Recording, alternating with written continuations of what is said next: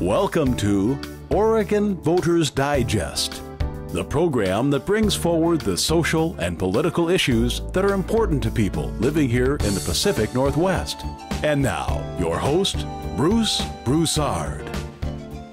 Welcome again to this segment of Oregon Voters Digest. I'm Bruce Broussard, your host, and boy, I tell you, we've got a show today, so we're just going to get right into the show. And as you note, I'm I'm still trying to reach out and get engaged with uh, vets that are out there, and uh, your loved ones and whatever, to basically have them go to the VA and uh, get their cards and get the benefits. You know, the clock is running out now. I mean, in all due respect, if you don't get your get your benefits, two to one, that someone's going to probably turn in and cut it back, and people are going to lose out again. So make sure you get those folks down there to the VA and get them their benefits. That they're sitting there waiting for them. Okay. All right. On that particular note, um, we had a busy week last week. We had a very very busy week. As you know, Carolina, the, the whole issue with the flag raising deal um, coming down, if you will, in the, as far as the uh, the battle flag, uh, the Confederacy aspect of it, that was a major major issue. Uh, and at the top of the list was um, was, was was Donald Trump. Uh, as you note, uh, he is uh, also a, a, candidate running for governor, I mean for president of these United States. Very interesting situation. We're going to talk about that. And uh, and then we're going to also talk about the immigration issue. That's a big, big issue. That was, it was just, it basically just took over the uh, all the media stuff uh, this Sunday. I looked at all the shows. A very interesting piece. So we're going to we're to talk about those three areas. And then the other thing we're going to talk about is again, uh, let me go back again. And by the way, we're going to try to relate that to Oregon. We want to we want to relate everything to Oregon. The national stuff will sort of take its own, but we've got our own areas of interest that I just shared with you. Okay, so that's what we're going to be doing. And my and with me today, uh, you've seen Fred. Fred Stuart is here. He's a he's a businessman. He's a broker in his own rights in the real estate industry. I still remember the time when when Fred started his his real estate business and uh, was trying to get folks motivated in the northeast Portland corridor to buy property and to buy real estate. Many didn't do. Some who did uh, benefited. But the fact of the matter is, now we're talking about gentrification, and now I can't go to Fred without saying, "And Fred, you, you got any more houses in this area?" Oh, Bruce, I'm sorry, we're running out of real estate. We're running out of real estate, and if you're gonna and if you're gonna buy a piece of real estate here, you better bring yourself a half a million dollars or better you know, in this area, somewhat you like still that. get it for less than that, but okay, well, you're going to need a, a, lot, you're gonna need some money. money. You're going to need some money. money. And then my other the other guy is is, uh, uh, is my is my dear friend over here, Clifford Walker. You've seen Cliff before. I can remember Cliff uh, making an effort to getting getting getting i.e. black folks involved with reference to a sister city. Sister City here was a very, and I and I, he can tell you stories about how he was able to get that done. Well, it happened. It, it happened, but it happened. It happened and so um, I want to thank him here. So so he's got some he's got some good background uh, on the area, dealing not only just in in the in the Portland metropolitan area, but in the state. So both of these guys are very very well astute to what what's going on. So we're going to talk to these issues, but again, like I said, we're going to be focusing here in the state of Oregon. Okay, all right. Let's start off with the uh, with the flag deal. I think that was a very interesting piece with the flag. Uh, um, you know, we saw a lot of stuff on the, on the media about the flag aspect of it, and uh, it seems as though that um, uh, the governor uh, uh was it Barber. She was the she, she's the governor and Republican governor, and she led the charge and and um, with that piece. And at the end of the day, the flag is down, and naturally there was a lot of rejoicing. It's all in all respect. I guess the big push was as a result of the death of the, the nine folks that were in the in, in the, in the church along that pillar line, and, and that, that that gave it the the, the push to start with to mm-hmm. talk about the issue.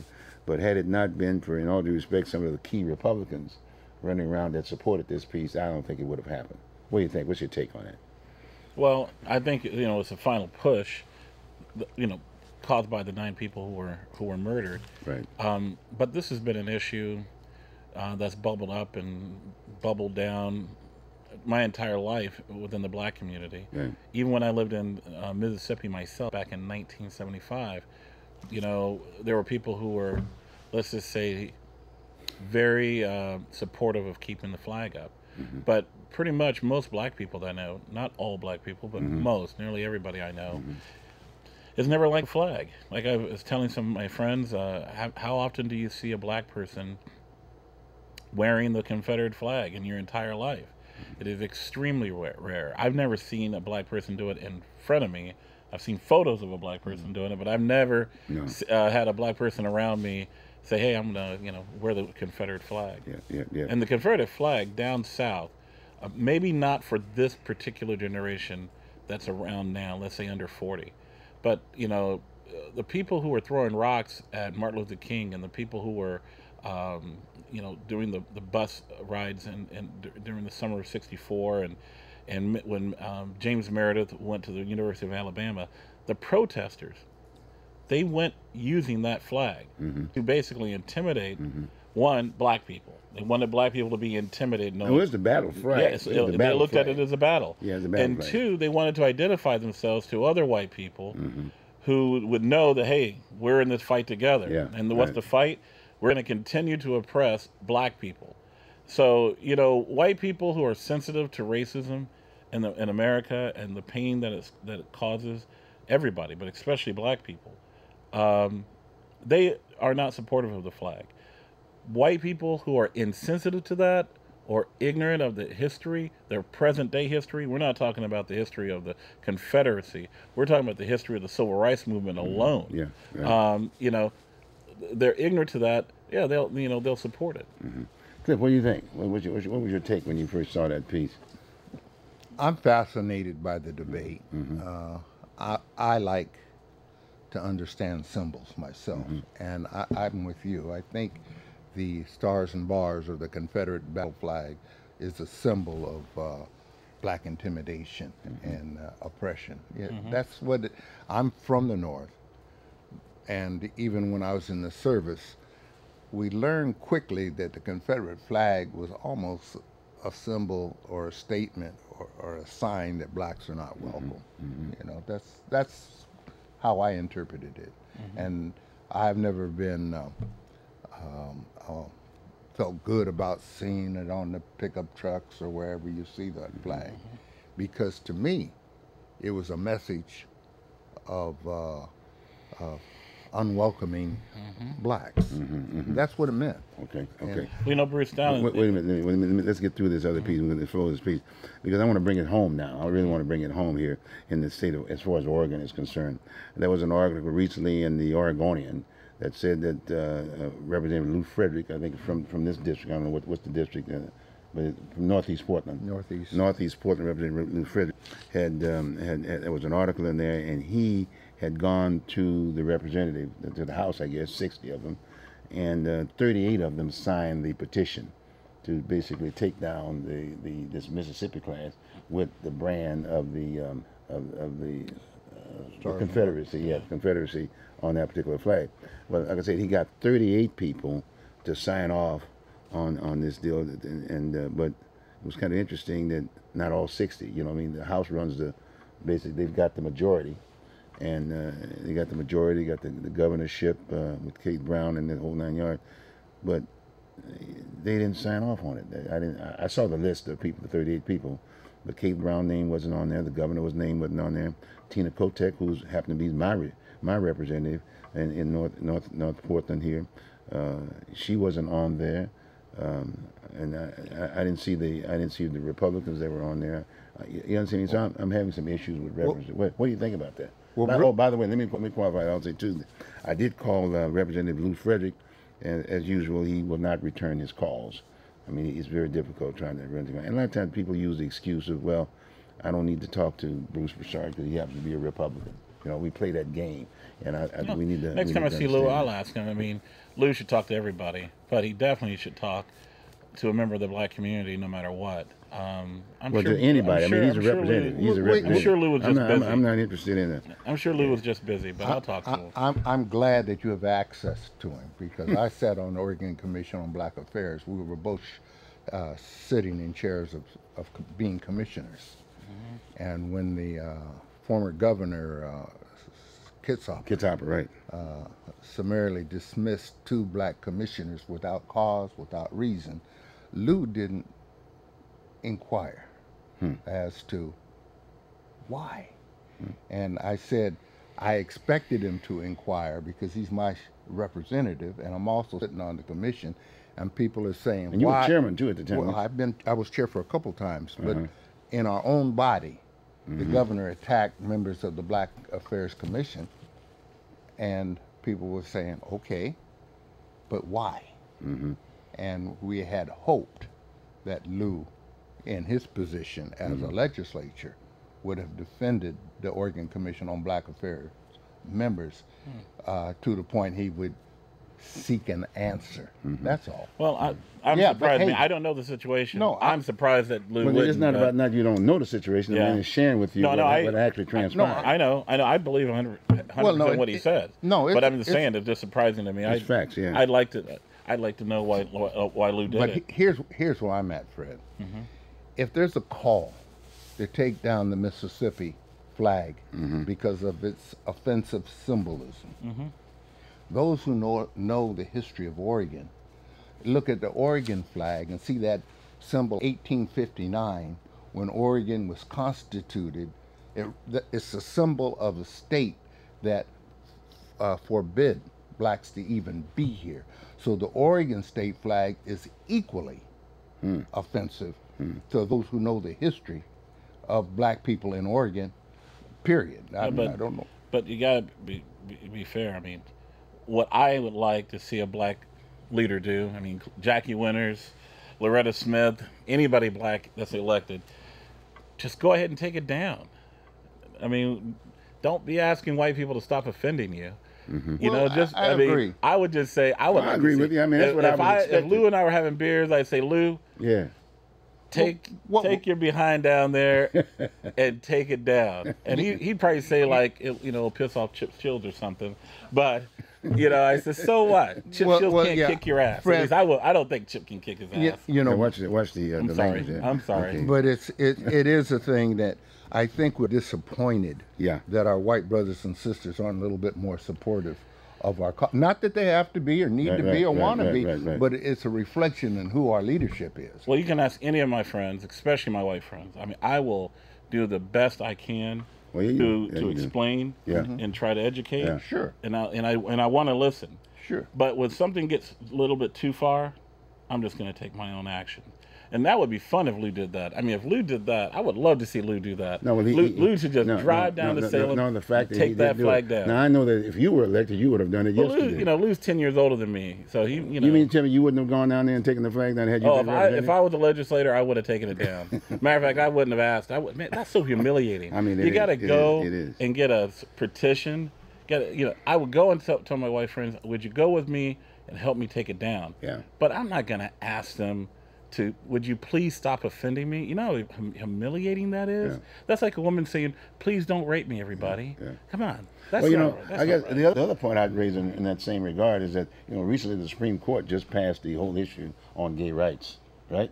About the the, the marriage deal. I'm All learning. You know what I'm saying? That whole mm-hmm. peace aspect of it, and and then and I'm thinking about well, gee whiz, you you got a governor now, and I I, I, think he's a- I, I think Kay's a nice person, if you will, but she No, Kay is a but nice but the fact of the matter is they made mention in the paper right up front that you know that she was bisexual and this that and the other, so she benefited. And a I lot- wanna see proof, And a lot of times, and a lot of times, well, you just call up the Oregonian. No, They- I wanna see her they- kiss a girl. They, what was it? I want to see our governor kiss a Oh, Okay, girl. well, uh, well, let's put it this way. I mean, I'm not, a, I'm not. In, I, I'm just saying to you I mean, they that, can have the, their that clothes the. Supreme Court just passed this deal, and my point is that uh, the point I'm making is that the, the gays are constantly always talking about equal rights for the gays.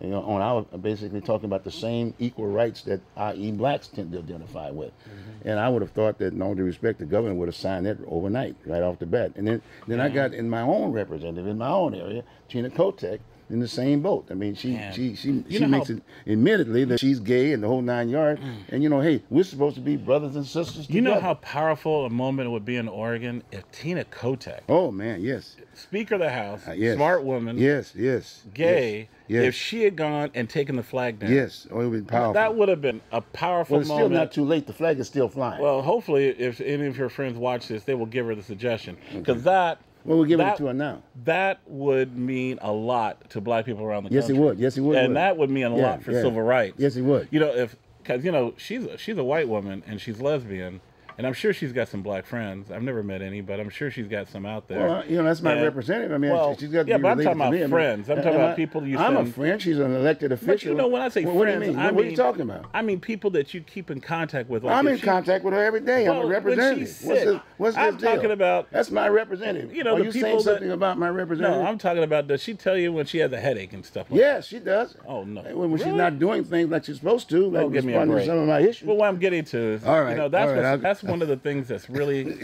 sad sometimes Yeah, about yeah, okay. our state is, you know, both Kate Brown, man, if Kate Brown just marched Oh, down done out of her office Oh, if she had and ordered it down, Yes, I mean, yes. who's going to arrest her? Yes, yes, Nobody. yes, And who's going to get arrested over removing Yes, that flag? yes, yes. And then, oh, or if Tina Kotek, what are you doing tomorrow morning? um, Can we go down to the Capitol tomorrow? Nah, I can't get arrested. They What do you arrest mean? my, my, my Well, behind. there's no problem. We'll be together. You Yeah, take but the, I got it. You I take got the real bottom estate. bunk. I'll take the top. I got Ain't real no estate. You know, I can't do it tomorrow, but you know, if you want to go down there, do it next week. Let's do it. Let Let's me go. see. Let's go down let me, there. We'll let me look at my schedule. I'm- take the- uh, would you go with me? Well, Can, can you come out? Can you, can I- you go go with me? Can you go with? us? You know, you know they're gonna arrest. I'm gonna me. be No, they're not going to arrest Oh yeah, they. I'm gonna be there. They're not going to arrest Yeah, they will. You, you don't think? Uh, No, the jails are s- full No, black they won't men. let us in there very long, but they're gonna arrest. They're not going to arrest us. These white people will arrest us. well, Are get, you kidding get, me? get your two or three. I mean, come on. No, no, I wait, mean, they're friendly. They're friendly, but they're going Yeah. to arrest. If they didn't arrest me, I would crack up. It would be nice. it, would- if it would we- be nice if he would there arrest. No, it would be nice if get- we had legislative leadership That's right. There you going go. down there to Exactly, take it down. exactly. It's not here in Oregon. exactly. But you know that was a great moment. See, this shows you that Tina has like no smart black people around her. Wait a minute. Now, wait a minute. Now, wait a minute. If wait, I wait, wait, wait, was wait working wait a minute, for wait her, a minute. Wait a minute. oh my She's God! If I wait a was minute. Wait- wait- working wait- now, for wait Tina. Kotek, Wait, wait a minute. What are you? and, oh, and the, the day that black Fred. girl You're trying to clean it in up, South, Fred. Right. in, in Working South for- I- I Carolina don't took work that for flag, I would have called her up and said, "Girl, you know what we're going to be doing tomorrow? We're going to be going and taking down some flags." Yes. Oh my God! And I'd have a bunch of cameras out there. Yes, yes, oh man, that. I tell you what, she'd get an Ebony magazine on that one.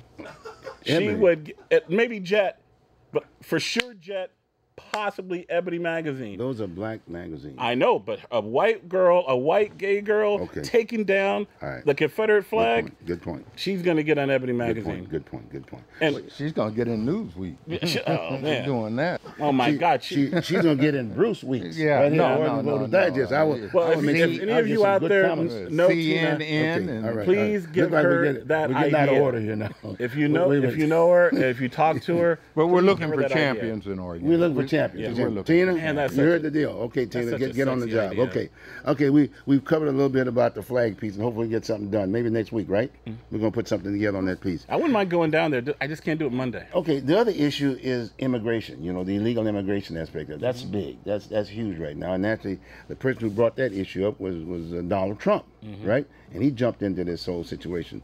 Then all of a sudden, it looked like he's gonna he's gonna be part and parcel of that. That's the national peace aspect of it here.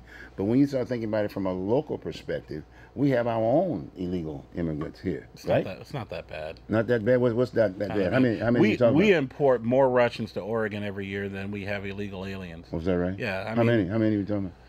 Oh, we got about 350,000 Right, or so heard that Russians that weren't here 10 years ago. And we, last got number I heard, we had like 40,000, 50,000 illegal more aliens. Well, no, no, no more. Than Well, I mean, maybe Lars is lying, but he said like 40 or 50,000. Is that what he said? He's got this thing on his show where he's always keeping everybody, keeping it- you know, uh, updated or, yeah, or yeah, whatever. right, right, I mean, right, there are more Right, white right. guys in Oregon married to Russian women who weren't here 10 years ago Mm-hmm. than there are uh, illegal brown skinned people. Mm. So to me, when I hear a Republican bring that thought, up, that we issue up in Oregon. Mexicans. That, that's, that's, that's all I thought we were talking. About. Well, that no, that's what I'm trying to say. I, I'm still to this day blown away that in you know 15 years, the Southwest Washington and Oregon can grow nearly 700,000 Russians, and people don't think that's a big deal. I mean, I don't care that they're here, but it's amazing how easy it is for somebody uh, sitting in Moscow to come and become a legal documented citizen in Oregon, but some guy down in Mexico City, oh my God, that's tough, you know, and it's not an issue. So what's the solution to the problem? The solution- They, they had e-verify on that piece. I mean, you know, you know, you know what e-verify is Yeah. all about. And that basically there, there's a policy uh, that says, okay, fine, uh, if you have, if you wanted to if a person comes in here and an employer cannot hire anybody unless he go through this process, right? Okay. Mm-hmm. But what about just uh, and that's that's already on the books. So why not just go on and enforce the law? Well, we should we should make it easier what's for it- people, our southern brothers and sisters, to move Okay. here. We, Chris? we need to understand the law, and we also need to understand the history because at one time, Oregon shared a border with Mexico. Okay. Uh, uh, when you start talking about Mexico, it depends on what period of time because California, Arizona, Colorado, Nevada was all part of uh, Mexico, mm-hmm. part of the hmm. Republic of Mexico. Hmm. So we have this shock about, you know, they're coming. They've been here. Mm-hmm. That's like you look at the West Coast, San Francisco, Los Angeles, San Bernardino. Like, come on. That's where the name comes uh, It- yeah, Yeah. It, it was a it was a Hispanic or Mexican right, settlement right. before it was See, I an think that American. this goes back too far. I hear you. I understand about that, but that's just way back too far. I don't know any of those people who were. Well, Santa Anna, you know, they can't do. Yeah, but He- Santa he Anna's been dead basically- over he- 200 But he years. sold, but he sold the deal. You know. But, but what I'm just saying, the people have been here for so yeah. Right. long. Right. Right. Right. Right. Right. Right. right, Yeah, right, but you know, we have a nation here. We do have borders. Um, you know, I don't feel people should come here illegally. I'm against that.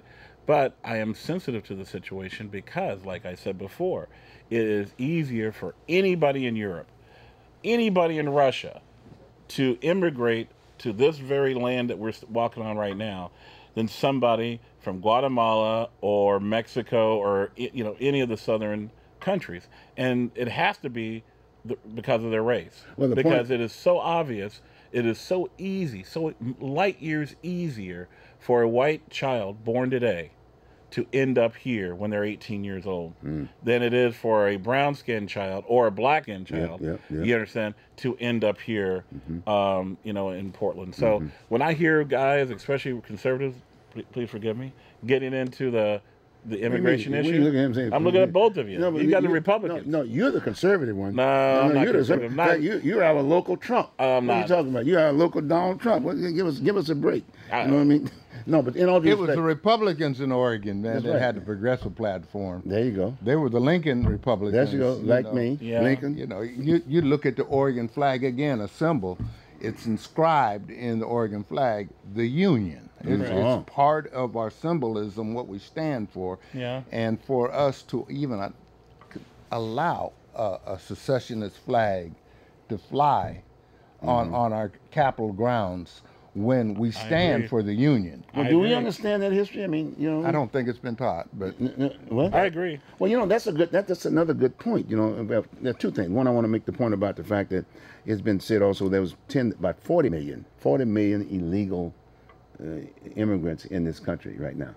The, Yeah, num- I the believe- number ten million is normally related to the Mexican aspect of it, you know, you know, and Latinos aspect of it. But the other thirty, like what Fred was talking about, all these other folks that are coming in too, but they're not being cited. Okay. I, I do not believe there are 30 million or even 10 million illegal Russians or Northern Europeans in the United States. that's I, a lot of but folks. Pretty soon I, we're gonna have- I, I've seen tons of ice trucks in my life, and I have not seen them lo- loaded with that many. I don't think I've ever seen a white person on an ice truck. Well, the question is, are we going to Yeah, have to I'm- take down the Statue of Liberty because I think it's the one with the mo- motto, "Bring us your, you know, unfortunate Yeah, but you, people." but you have to go within a certain area. You, you get off the ships and, and you, you check Ellis you out. Yeah, you check them out. Check Well, you just out. move, and just move the uh, Statue of Liberty to Arizona. No, That's how about. No, if, Oregon. if my memory is correct, Donald Trump's wife is from Russia.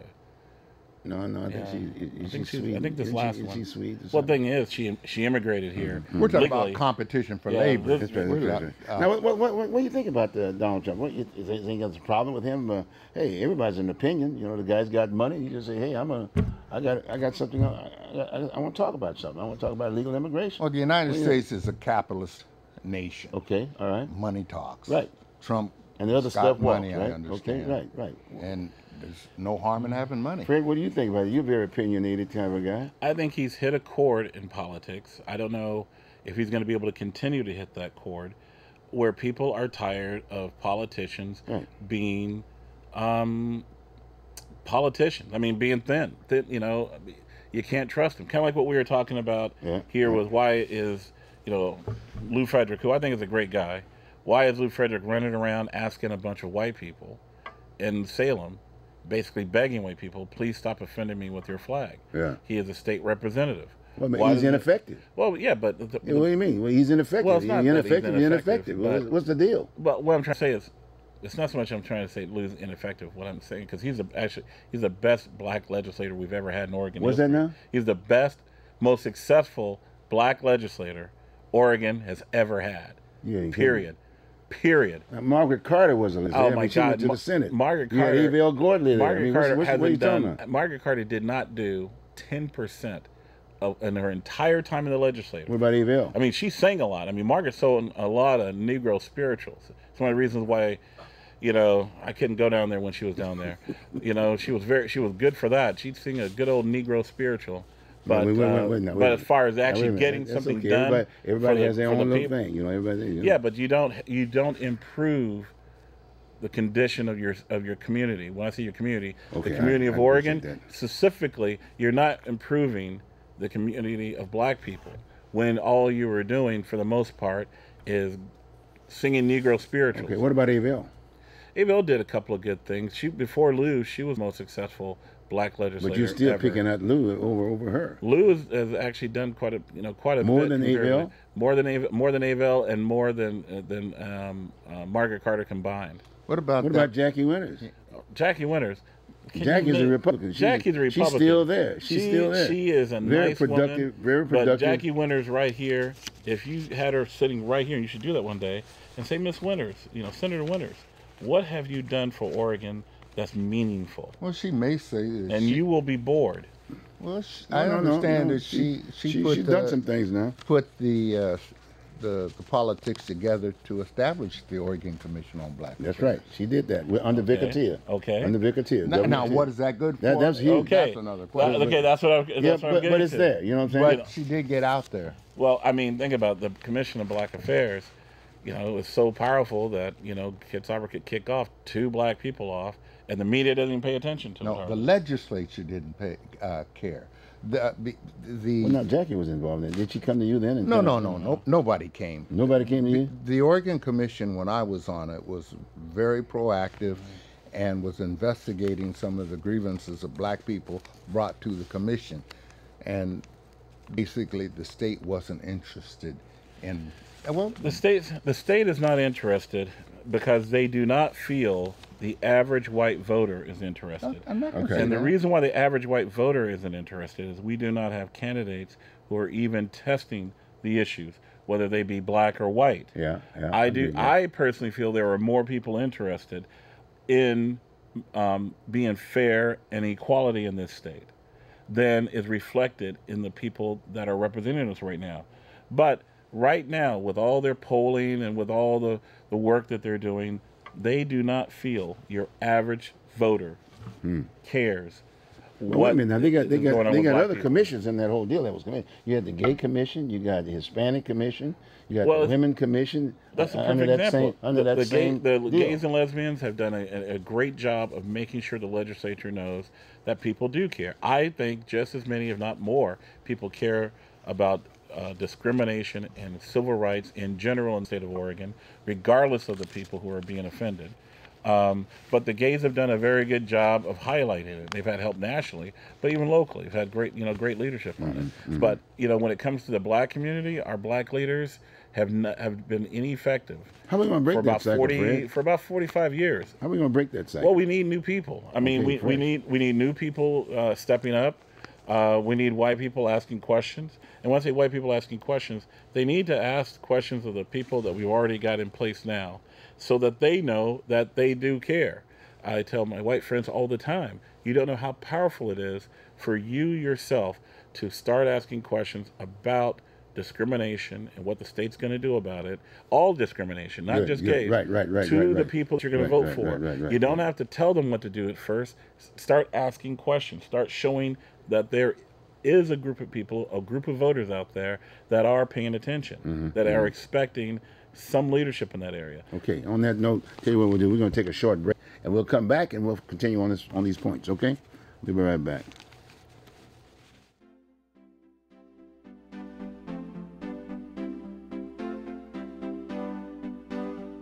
You are watching Oregon Voters Digest. This program can be seen again on these channels on these dates and times. Tell a friend.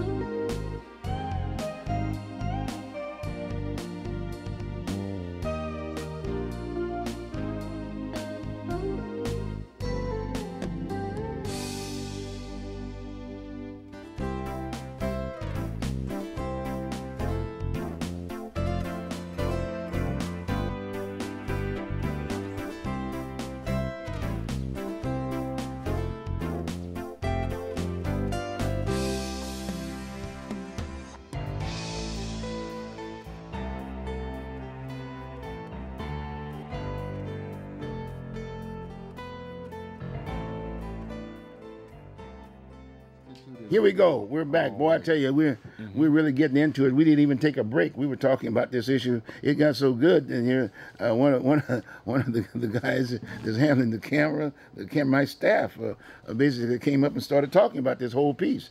You know, we want solutions. They want solutions. You know, everybody's trying to basically make recommendations, and that's what we need to talk about too. Well- now let, let's let's talk about the, the so-called one of the solutions. I'm gonna throw that on the table. What? We- the, the the solution to the problem to this issue of uh, Okay. of, uh, of the flag and what it represents, and we've gone another way. But I'm, I'm, I'm excited, especially what Fred is saying. go on. What, I- what, what do you say?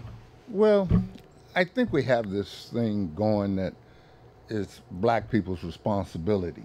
Yeah, it's not yeah. black people's responsibility. right, right. Uh, I saw that in the anti-apartheid movement. The- the- the- you know, they wanted to give that issue Mm-hmm. to black people to deal with, like it was a black issue.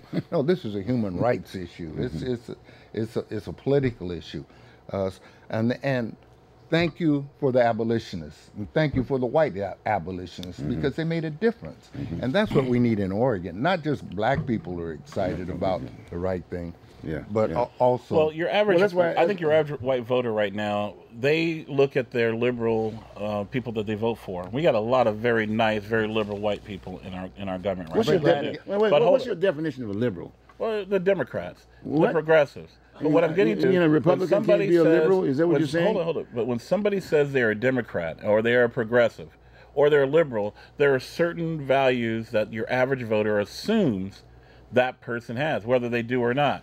They assume they're against discrimination and that they're going to fight against it. They're assuming that they're for uh, our environment and protecting it. They assume that they are who's for. making those assumptions? Well, I think your average voter He is. No, Okay. I think your average voter in Portland, as far as in But Multnomah in County. Oregon, in the No, Oregon no, you- you history, got- yeah. the Democrats who backed the Klan. Yeah, but that was back, gosh, over, Yeah, but, but you made a point. But you ago. made a statement. That over see, 50 years ago. You see, now look, Fred. I mean, there's no, nobody listen- right listen now no, that- that I know of in the legislature listen- that's in the Klan. Listen to what you I'm know saying. anybody? Listen to what I'm saying. Well, I know a few. that are in the Klan today. Yeah, yeah. you In the legislature? Easy, easy. I want to know their names. Easy. Some of them are Democrats, though. Really? I, I don't want to say anything, but but anyway. Uh, but the bottom line is this: it, that education piece. My point is education. We had the flag piece aspect. of it. They were very strong about. Many of them were saying something about it was historical in the administration, and the same thing was as far as our history is concerned during slavery days and whatever. It's not taught in the schools. It's not taught in schools. Both of those items aren't taught in the schools. We need to know. Well, people don't know, They- they- know they that don't know. Oregon was constituted right.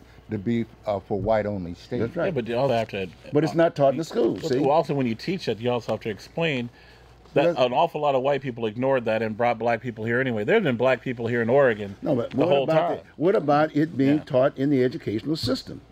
That's true. I, I wish it was, but Bruce, we- don't have. We're like what, what the 50th state in the country right now for high school graduations or something Oh, well, pitiful, that, that- pitifully low. I mean, we don't have a cohesive educational system right now that can get that done. It would be nice for them to get it done, but these guys are having a hard time keeping kids in school and keeping them in, in a position where they're just being able to compete. We Tesla, Tesla, the the people who were in charge of locating their factory, sat down with me once for cigars while they were here on a courtesy visit Now, who are you Oregon. talking about? What, what are we Tesla, talking about now? Tesla is a new, uh, you know, the Tesla cars, Right, right, and, the- right. and the, Okay. the uh, Elon Musk. Oh, yeah, yeah, right, right, right, right. Okay, Tesla the, the people behind Tesla were telling me why Oregon wasn't even on their short list, but out of courtesy, they were checking Oregon out. Mm-hmm. And it went straight to our educational system. They went and put up a billion dollar, multi billion dollar factory in Las Vegas. Las Vegas, UNLV, beat out Oregon State University as a better partner for their venture. Hmm. That just shows you how our educational leaders in this state are failing us. It's that bad. Tesla should So they be looked in at the Oregon. educational system and found Yes. out that in fact they wasn't going to want to be able to It, it, it, we're, we're not putting out the product they need as, Right, as right, these people right, told me. And, um, you know, here we've got 10 states going full bore after the, the manufacturing of the products that are being developed in the Silicon Valley. And Oregon is not even in that race at all because our educational system. Now we're getting a little closer to that. I'm very happy about what we're doing with the um, uh, community colleges. Um, you know, making it more affordable for people to you know to get you know education. But we need to go further. We need to be more aggressive for Oregon to grow, for Oregon to, ha- to grow economically. Well, under Governor Kitzhaber, they changed the format. You know, you, you don't elect the, the superintendent now. You know, all of a sudden, the governor's responsible. You think Kate is going to be able to do the job? I think Kate is going to be a better governor than, than John Kitzhaber, period. Um, you know, I, I think she's going to be a better one than him, period. I I have always been, I'm not throwing him under the bus, but I've always been of the opinion that John Kitzhaber, as nice a man as he is, he never was focused on uh, the totality of Oregon future. Well, he had to been doing something. He was already there eight years and it's starting on well, the third you know, term, he, right? he hit on he hit on environmental issues very well, and other a couple other issues like that. But I really don't think you know our former governor, you know, has a vision that you know Kate Brown and some other people. but what? Tell me something. Why is it that people start talking about people after they've left? I was saying this before he left. I, I mean, I, I wasn't talking Did you, about did him. you run for office? I didn't run for governor. Well, if you if you did, well, that's what you should have done. Yeah. Well, well, Sitting down there Well, talking you know, about you, you- people. You, know what? You're, you're, What- what's that? What that you may not about? be a bad idea. I'm only 50. There you go. Let's see what I'm going to be for like when I'm 60. You. You know, when I'm 60, I might run for governor. I, We'll I hope see. so. You know, I might run for governor. You got some of that Donald Trump tendency. You know. No, anyway. I, I hope I like that, that. I like that. That's he- You know, deal. he will run for governor. Governor will Fred run? Stuart. That would be hilarious. That would you be like that? hilarious. Would you You, like know, if that happened, you know how many black people that are considered black leaders right now would leave the state of Oregon? I mean, I might run just to, uh, to, to promote them to get the heck out of here. When- you Oh, know, my God. I, I, I'm very protective of, of Oregon black leadership. Right, right, So right. I don't know who you're Right, talking right, about. Well, yeah, yeah, yeah, I'm yeah, talking yeah. about the ones most importantly here in Portland, Oregon. I'm not talking about the whole state. Right. We've got some weak ones here in Oregon that are done a very, very poor job of educating our white brothers and sisters on what the real issues are, usually because they're too greedy for themselves. Well, Mm-hmm. you know, uh, my We, we got a lot of Al Sharpton Juniors here in Portland. I don't question you Yeah. on, on that. And and when I was on the commission, Mm-hmm. I I felt that some of the attitudes of my fellow commissioners were weak at best, Mm-hmm. and that's just No, the, the leaders, you know, Yeah, but you the, know, the leaders we had in the black community up until about 74 75 are light years better than the ones we got crawling around today. Light years. It's, it's, it's offensive. Hmm. And that's another good reason for black people in oregon to start being more involved in learning their history learning a lot how uh, like i was explaining to a how friend of mine the other day history? They're not educated. I mean, uh, we're, not, well, we're not educated. no they have to start asking questions they can't rely on the ask educational questions system if you don't know where to go to? well, that's You're what's good supposed to about be your going show. to the educational well, system. Okay, good. Okay. There are going to be things changing to help that, but you, you, you have to start looking. But one of the things I tell people, this, I'm very proud of the state, both black and white, is you know 1946 here in Portland, Oregon, white leaders were trying to figure out how to get black people to leave. Yeah. That was the last time there was like major concise effort to get black people to leave. Then in 51, the black uh, community, led by the NAACP, got Oregon to be the first state with a public accommodations law. I mean, you understand? I mean, we did that. What was it? Ten years before the federal government did it. Yeah. You understand? We had some leaders in the state. leaders, yeah, we had yeah. the anti-miscegenation law before everybody else. It got struck down, but it got it, it actually passed. It actually passed. So you know we've had a long history of very good, very uh, effective to- black leadership in the state of Oregon. But something happened Um, it started. It's called with- the flood. It start no. It started with Reed College. The particular black leader graduated from Reed, and this city has black community has never been about? the Who you same. talking about? Um, Ron Herndon. Ron Herndon is one of them. Hmm. You know, I'll name others as I as I as I get older, but we What, have an what, what about opportunity here. Vanport? I mean, don't you give some credit? To Look at well, look at what the black Vanport was a community did di- with Vanport. diverse. Here you've got very- the city well, it trying- was- It was the largest city in the. In, I understand, in, in but you got the white establishment trying to literally flood, drown as many black people as they could Mm-hmm. by by making them and tricking them to stay in Vanport. Vanport happens, and then the black leadership um, basically started using that opportunity to integrate the neighborhoods. Yeah. You understand? Do you know how many pl- uh, people uh, don't understand that, that we used to be extremely hard redlined in this city? Oh, yeah, extremely so. hard, and a lot of that started breaking down Real estate industry, big time. right after Vanport. And who are the people who led it?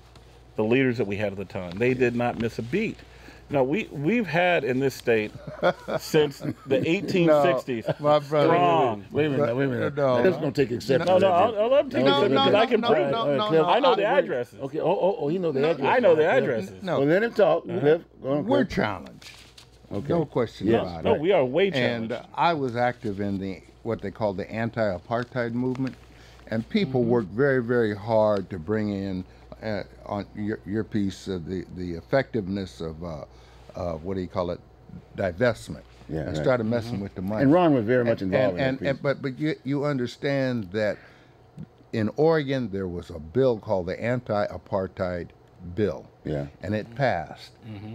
But one thing you won't know that that that act was uh, what do you call rescinded Huh.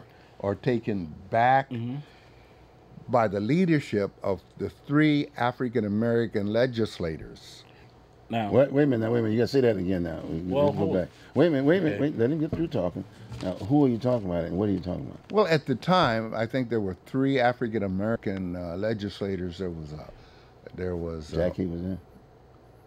Was Winters a part of that? That the, the guy who was the treasurer for what? Tom Jim Hill. Jim Hill. Jim Hill, Okay. Um, um, Bill McCoy. Bill McCoy, Okay. And um, I don't know if the third one was uh, Margaret Carter. Okay. But they were the sponsors of the bill to stop the uh, to repeal the Anti-Apartheid Act, and I was just disappointed. But Wait- you wait see, minute, this wait- is wait what minute. I- disappoints. I didn't understand that. This is I, I, I didn't understand something here. Are you saying they res- they rescinded, meaning that this Yeah. stopped? they passed a, bi- a bill passed to bill. end the a- the act. But but look, me as a 50 year old, looking at the carnage of the last 27 years in the black com- community in Portland, I don't understand why anybody in the black community. I understand how horrible apartheid was and it was bad, but why spend any time on South Africa when we had so many problems right here. right here in Portland? Well, that's why we talk We've had since 19, two- 1988, August of 1988, we've had almost over 500 black people murdered by black people here in Portland, Oregon. Over 500. Okay. Okay. We've got just a high unemployment rate. We've got uh, uh, Failure rate in school, uh, uh, yeah. we got failure in school. We got fewer black people being promoted um, and and starting their own businesses, or professional black people being promoted. Yeah. Yeah, I- their I own What I'm getting to is the fact that black people, 30 years ago, were even focusing on apartheid, shows just how bleak it's been for black people. Was that a diversion? It's, uh, I think it was a diversion? diversion. A diversion? I, I think it was a diversion Because because, things were happening? Because we had, I mean, when I when I started in real estate, we had black people in Northeast Portland that owned 20 homes. Oh, I remember that. Quite quite a few owned 20 and 30 that. homes, but they couldn't go down to a bank and get a refi or a second mortgage so they could improve it. So while we had banks still redlining in the 1980s, banks were still redlining inner Northeast Portland the day I started well, in real estate Bank, was it? The Amer- American State Bank under Booker. I mean, he, didn't he, uh, was a black man. Booker did a few loans, a few but jobs, I'll tell you he- this: He, was limited. in, in 1990, Booker did more loans to black people Yep. in Northeast Portland Yep, yep, than. U.S. Bank. Yeah, but. U.S. Bank had the majority of the black uh, uh, bank accounts in inner Northeast Portland. You know, but Booker, as, as tough as it was to get a loan from him, he still did more loans with black yeah, he people did. than U.S. Bank. Yeah. And I don't know what it was for First Interstate, but it couldn't have been better at First Interstate. But what I'm getting to is that's been one of the problems is our black leaders since about 1970 Our leaders. are, well, leaders, yeah, yeah, yeah, yeah. well, leaders. the people who are Because, you know, white leaders have been leading the. You know, well, the white leaders are, le- are leading to, and they've done a beautiful job making Well, this, this state and city such so awesome. Is that but, right? What about Earl people- What do you about Earl Blumenauer? He, he picked up hundred thousand dollars uh, from the marijuana initiative. Uh, Well- from, I don't know whether not half of someone said. God bless he got, Earl. He got he got fifty thousand. He got fifty thousand in cash, and the other was in weed. And I- someone, because he's someone gonna said something he, about that he- part. I don't know what he that's is all going about. to do. That was alleged. Very, Now, I want you to make he's sure going to do very well for for uh, you know for, For the marijuana people. No, for for the marijuana people. But you know we don't have people right What now about our education working system? Why on can't he? working he's a on leader. black people He's issues. a leader. Why can't he? Why, why shouldn't he? Why, why don't you put some pressure on Earl to do his job? Well, I think you know. I every time I'm around Earl, and I'm not around Earl very, very often at all. Like I haven't seen Earl in. Is he probably a good guy three you- for you? He's friendly. He's nice. He's nothing. Nice guy, huh? He's a nice guy, but Democrat we got too, a right? lot of Is nice white people in Is he politics a that don't do nothing for black people. Is he a Democrat? He's a Democrat. Okay, But no, the assumption from the white people who vote for Earl Yeah. is that Earl is looking out for black people too. Is? That's it. No, he's not. Okay. But the assumption is that he is. You understand? The assumption is, hey, he's a Democrat. He's been around. Yeah. He's a nice guy. Wears a bow tie. But Earl, he, black people don't feel Earl. He rides a bicycle. Well, I, I, let, let me uh, share Okay, this with okay, you. go, go on, Cliff. and, and correct me on the numbers, Mm-hmm. but I understand black people represent maybe one to two percent of the state population. One point eight, Okay, somewhere in there, Mm-hmm. and they're doing maybe twelve percent of the prison time. more than Oh, that. that's talking about that. It's over 20. Okay, okay, at the state time. The state, yeah. Okay, it's over huge. twenty. That's alarming. Yeah. That is scary. And, and this is what I like. I put out to my white friends. You know, if you are feel you're colorblind, and if you feel our leaders are colorblind, Right. okay, then you would expect our white leaders. Right. They wouldn't need Fred or any other black leader to say something. Or me. They would. They would look and see the numbers and go, something's wrong, Wrong here, and yeah. we are we're gonna we are gonna going to with it. lean into it. They don't do that not because they hate black people. They don't do it because the people they vote for don't make it obvious that they need to do it. You understand? They're running for office. Yeah, but the black leaders go to them. They ask the black leaders, "Well, what are we doing? Are Well, we the black- the black leaders say, "Yes, you're doing a good job." Black leaders say, "Give me some money, There, there you go. There you okay, go. for my Okay, nonprofit, okay. Right there you go. and I- I- uh, I- I will tell everybody that you're working on the issue." Yeah. You know what I mean? I mean that's how the game's played. We didn't have black leaders like that 45 years ago. Mm-hmm. You understand? And uh, but we had black leaders like that for the last 45 years, and that's why when I tell people, when you look at Lew Frederick, he is literally the most successful black legislator in Oregon history. What Just has look at his record. What has he done? Oh, he's, he, he's got that that uh, um, that uh, we call Superfund uh, bill. What's uh, Superfund? To do what? To clean up brownfields around the state. brownfield. What kind Yeah. of brownfields? You know what brownfields Yeah. are. Oh, oh, oh, get rid of black folks in yeah, there's actually some black guys who've gone out and created a business where they're going around and using that fund to create it. I mean, he's actually created, people create jobs. How many? How many businesses? How many jobs did he create? Uh, last I looked, and this has been about two years. It's been about two. Or, I mean, I don't know, two or three. What would be about good ten, to get about ten or fifteen. But the point is, We'll give- I can't think you- of any I'll job give- any of the other ones ever Representative put Frederick together. Yeah, the bring him- opportunity bring him come back here. No, the you program. should. You should bring Well, him. Fred, him because- you, you you go and call him. Call Well, him. I'll call him. him because you know Lew, Lew, Lew, Lew's done well. I, I wish he could do better. I wish he was more aggressive. Okay, I'll give. But I'll he, give him that. he's done better than the, than them all. I Oh, mean, wow. I'm Boy, glad. all of them. I'm glad glad that you- you know this. Yeah, yeah, yeah. yeah, yeah, Now I want to see it. Now hold it. That doesn't mean he couldn't have done better. No, that doesn't mean can the all- next one shouldn't do better. do- we all but but do the better. point is, this shows you how how bad things are in the state of Oregon for Black people. I mean, when I tell people, look, I've sold 740 addresses in, in, in, in Northeast Portland, that is impressive. But I tell people, that's not good. I mean, I know some white people in Portland who they haven't sold as many as I've sold in inner Northeast, but they've sold more addresses. Right, right, right, right, right, right. Right. You understand what I'm talking about? I mean, Yeah, right, right, right, right. we we we can do better. You understand? And we've got to put ourselves in position where we are advocating for our best interests. Yeah, but but, but Fred, and- Fred, and but do Fred, but Fred, in all due respect, it's very, it's very difficult. I mean, I, I remember I had, I was wild and ready to go and wanting to build senior citizen housing, and I was in the rehab business and this, that, and that. I got no support. Well, Bruce, you know, it, But that's it's- okay. It's, it's I'm a businessman. I just went and did something hard. else, you know I it mean? is- it is hard. Yeah. It's hard to be a black real estate broker. I know that. I love it. Yeah, You understand? yeah, I mean, you know, I love how hard it is. Yeah. And uh, I mean, I wouldn't mind. Maybe you ought to being a little change. Maybe you ought to go into the nonprofit business. No, Uh-huh. no, we got enough black people in nonprofits. If I ever do that, Well, I don't you do know it. I need to be committed. oh my God, Fred Stuart create a nonprofit? No, no. You know, it, it hurts well, we my know- heart. yeah, I know It hurts I- my I heart you. when I I come across a smart young black Yeah, I person, I know. man or woman, and I ask them, "Hey, you got your degree? What do you plan on doing with your yeah, degree?" yeah, yeah. And they say, "Well." I want to start a nonprofit because I Yeah, want to give back yeah, to the community. yeah. And I see them driving a 30 year old car. And I'm like, wait a second. You haven't worked to give yourself anything. and you're now want to go and work and give back to the community? Uh, yes. Well, some- some folks have gained in the nonprofit industry. You know what I'm talking well, that's about. what I mean. I'm thinking, Who are you talking about? uh, well, I'm not going to mention any names, but I'm just Well, thinking it- it- that could be a pretty good racket. No, but it, it has been an issue here, and I, in all due respect, uh, as far as I'm concerned, the, the individual was very talented. It's unfortunately that's the only vehicle he had to be able to operate Who? with. I'm talking about Roy Jay. He had something like 38, 38 non-profits. Roy Roy Jay was something. smart It's been enough. said. He's a smart guy, He very was smart smart, enough to guy. But more- my point is that the system, that's the only thing the system allowed him to do. Maybe back in the 70s. That's, I'm just, I'm just throwing You it know, It's an issue now. Maybe back in the 70s. You know, We- we- we let me tell you something. Booker went out and started American States Bank. He went out in the 1950s and bought 33 homes. In the early 60s, he sold those 33 homes and took $150,000 he collected from selling those 33 homes and capitalized Well, he took the American States well, he, Bank. he took advantage of the affirmative action then during that time too, because they needed Well, it's still banks. around. I mean, yeah, yeah, yeah, well, what- not, what- no, not, not, I'm not not saying. Roy Jay should have started a bank, but what I'm trying to say is we could push ourselves harder. We can do better.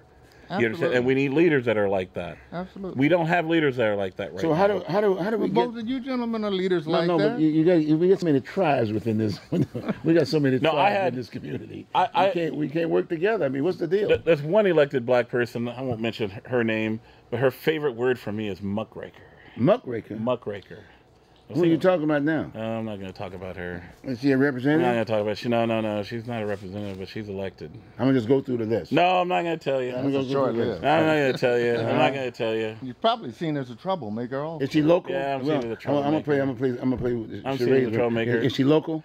She's local. Oh, but I. there's but- only one. But but I grew the up only one. I know. See- Loretta see Smith. See, Are you my, talking see, about- see my issue. Are you saying Loretta Smith? I I'm mean, not saying nobody. She's trying to do the best job. I'm not she saying can. anybody. She's trying to do the best job she can. I'm not saying anybody. That's the only one I know. Well- there's no other black elected in this area other than Lew It, Frederick. it doesn't matter It doesn't elect, elected or not elected. We will follow the uh, leadership is a, is is what it is. is what it is. and we all have different leaders. Even, right, that's you right, know, that's and right, this that's whole deal of assigning leaders That's to right. black I mean, it doesn't that's what they you, you take. That's what they you, do. you take what's going on right now with Sweet Cakes and with Sweet Daimler, and Daimler Chrysler. Let's talk about those Sweet two Cakes. lesbians that didn't get their cake it- so they could eat it too. Yeah.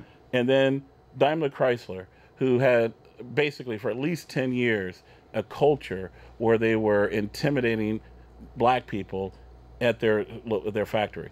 Not not only that, they don't promote black people um, for the most part at that factory. If you're black, you get to a spot pretty quick and you're pretty stuck. Now you're making good money, but there's really a, a, a, glass ceiling for black people. And then you got sweet cakes, and the two things that the, that that happened between these two organizations are horrible. The sweet cakes people are not nice people. How they treated the the the, the gay couple horrible. But you know what's also horrible? Hmm. How Daimler is treating black people in Oregon. Hmm. Now Daimler has a 2.4 million dollar judgment. The sweet cakes people got 135,000. It's pretty much putting them out of business. Well, Fred, you But Daimler, you, forgetting something. Daimler is not even worried about two. In fact, in three years, Daimler is going to start being racist to black people again, because it, because they look at it as it only cost us two hundred about two, about twenty uh, uh, hundred thousand dollars a month roughly to be mean to black people. They're just going to keep up keep Yeah, it but up. Fred, you don't understand politics here. Now that came from the Bureau of Labor. Look who's running the Bureau of Labor. Well, it's not Instead- Brad's fault. Huh? The- it's the- not Brad's fault. The reason why the reason so why you so you're No, saying to me so you're saying to me that if you own if you if Fred Stuart owned sweet cake Mm-hmm. and you're selling cakes and whatever, and somebody walked in there and said, "Look, here, I want to do this," there, you say, hey, "Look, I'm not going to sell you any any cakes," Mm-hmm. and they're white. What do you think? What do you think they would have done to you? I think they would have given you a second thought. no You don't think so? You think they would have done the same thing with you? They would snap. They would have snapped one hundred thirty-five thousand. yeah they would have done it to you. yeah they would have done think- it with no because problem. I'm a small business the the way this the bully is set up right now it is easier for them to fight discrimination in, in small and mom and pop businesses than multi-billion dollar corporations Well, they were also if you involved are in the same thing with the crisis. Right? Well, if you if you are a wealthy company in the state, you can come in here and be as discriminatory toward black people as you want. But if you're a mom and pop business, well, the full weight of the state can land on you. Mm-hmm. Now, I think the Sweet Cakes people and the Daimler Chrysler people are lowlives for how they treated people. Right, right, right, we should not tolerate But if you do one on one, you should do the same. But if you're gonna if you're gonna put Sweet Cakes out of business, okay. Now the reason why I say it's not Brad Avakian's fault, the, the the Bureau of Labor and Industries does not have the budget to take on major corporations in the state of Oregon but- for being. But you made but you made a, a distinction. You made a difference here. One was gay. We just passed the Yeah. Supreme Court deal, and one was black. Yeah. But So who has the power? well, no, it's not that. Who if has the that power? gay couple, hold it, if that gay couple had worked for Daimler Chrysler and Daimler had done the same thing, the same re- result would have happened: a two point four million dollar lawsuit. What I'm getting to is major corporations in this state. No, but but you said it, it, maybe. No, no, that wasn't the case. I'm just saying to you, if they weren't a gay couple down at Daimler, no, there wasn't. Okay, Not yet. but the cake was. But I'm telling anybody gay who works at okay. Daimler, I want to see you start filing some complaints if there's any discrimination down there. Yeah. But the point is, what I, what I want to get across is we don't have. We, Real we quick, want, like, I we- got about we- 30 seconds We here. want black people to go out and get good jobs and stuff like that. Well, if they go and they work for major corporations, try to get a job at major corporation, and that major corporation discriminates against them, there is nothing the state of Oregon can do about it. Okay, okay. Well, folks, as you can see, we had a very lively discussion. As far as I'm concerned, a very productive one. And that's what you should do. Get around the table and, and have those discussions because that's what it's all about. You got to get involved. We're very upset about our leaders, especially our elected leaders today. So hopefully you'll definitely get involved in the next election. Very, very important. Talk about these issues. Talk to your neighbors. Call your legislators like we've done and they don't show up. Call them up. Let them know that, hey, you're going to be watching the next time around. So again, thank you very much for being a part of the, what, our show today, guys. Thank you very much. Really appreciate it, and we'll see you next week. Have a good one. Take care. Nice meeting you. Likewise.